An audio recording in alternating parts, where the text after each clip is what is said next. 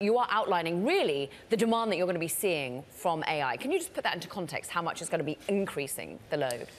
You bet. I mean, AI is one of many factors that's driving to really the first time in 25 years, certainly in the U.S., we're seeing real load growth. It's AI, it's the electrification of transportation, electrification of homes, but also U.S. manufacturing are all playing roles that are really leading to a substantial increase in load growth right now that's we're seeing in a number of our businesses. We're seeing it in, in substantial increase in orders for gas power right now. We're mm. seeing it in grid infrastructure equipment. And then working with the hyperscalers, going back to that question on how we decarbonize this increased load growth that's very clearly coming this decade.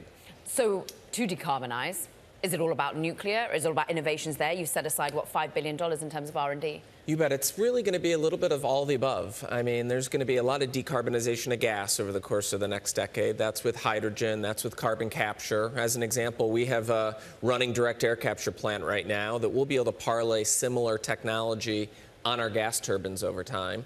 Nuclear is definitely important. We have 65 nuclear plants with our technology running today in the U.S. We can operate those plants and provide more electrons this decade. We also have what will be the first small modular reactor that'll get commissioned this decade in 2029. That will become a bigger part of the hyperscaler demand cycle into the 2030s, and we're excited about that. So there's a lot of plays here.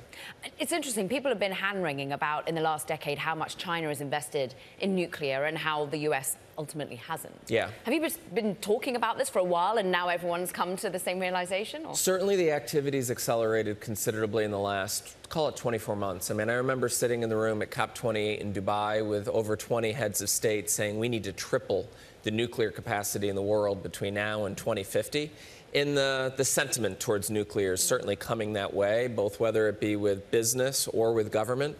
It seems like this is going to be our time for nuclear, and we're excited about what we can do to help make that a reality.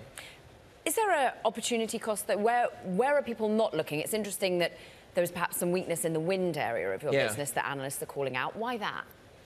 Well, I think the wind industry at large is one that's still going through more of a maturation process, industrializing the product at scale relative to gas, relative to nuclear, that just have longer legacies, stronger supply chains, stronger safety and quality cultures in those supply chains in totality. But mm. the reality is, when you talk about these different power generation technologies and what people are missing, frankly, it comes back to the grid because regardless of which technologies are going to power this load growth, we need to make a massive investment in the grid in the years to follow. And that's both the physical grid and how the grid thinks and works and grid software. And those are big parts of what we're investing into right now. Is that you? Is that alongside the government? Does this have to be public-private partnerships? It, uh, we do stand for public-private partnerships for sure. I mean, these are big electrical equipment systems that have been built over 100 years with public-private partnerships playing important roles, and that will continue.